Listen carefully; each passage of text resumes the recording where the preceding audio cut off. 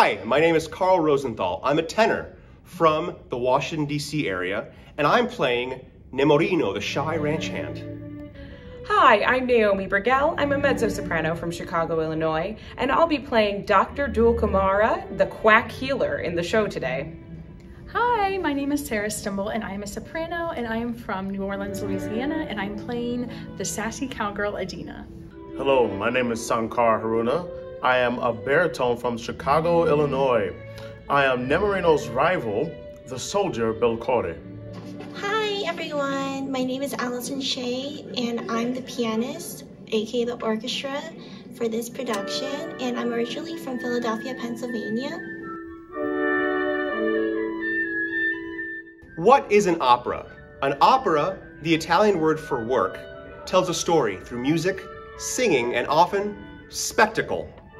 Unlike a musical, the singers do not use a microphone to amplify their voices, and the music is usually provided by an orchestra, but in our case, it is used by piano, which is live. What are the different types of songs in opera? An aria, which is the Italian word for song, is a song that is sung by one person. A duet is a song sung by two people at the same time. A trio is a song sung by three people at the same time, and a quartet is a song sung by four people at the same time. What are the different voice types in opera?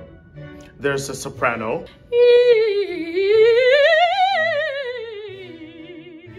the mezzo soprano,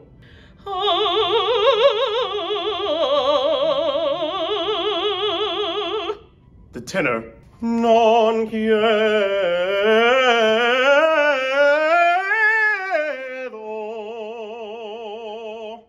and the baritone. Ah.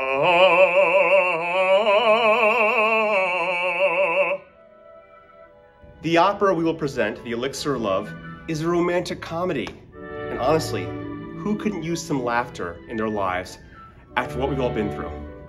We're excited to bring this opera to the Dayton community, and we can't wait to see you on the road.